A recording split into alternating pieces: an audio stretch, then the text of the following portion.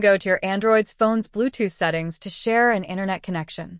On both phones, turn Bluetooth on. In the Bluetooth settings on the phone, which has the internet access, please ensure that the Share Internet option is selected.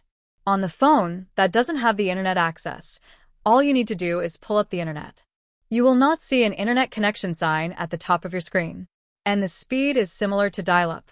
I ran a speed test and it measured my download speeds as 0.32 megabytes per second.